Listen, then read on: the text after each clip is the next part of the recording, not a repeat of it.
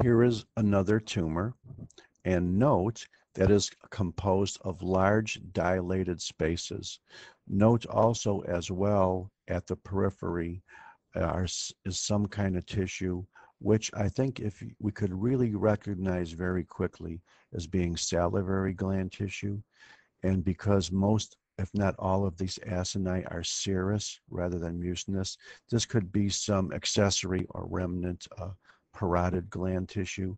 Notice we also have the ducts as well, but that doesn't seem to be a part or the main part or even part of all of this tumor that we're looking at.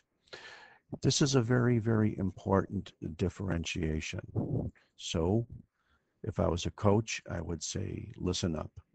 Notice that these large spaces are lined by these thin endothelial cells.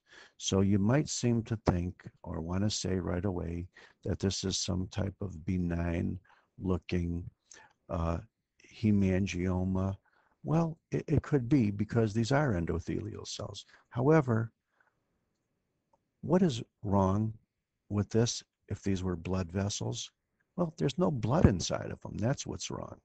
So can I perhaps convince you that although these are endothelial cells and they're large cystic spaces, you don't really see any blood in them. You could see a little uh, resting here of proteinaceous material, then some inflammatory cells out here.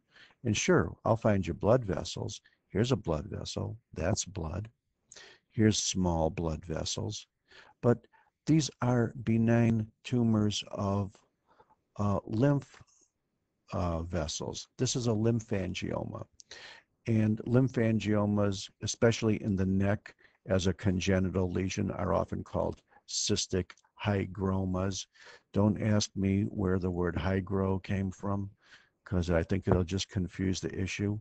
What we shouldn't be confused about is all these cystic spaces have endothelial linings, but there's no blood.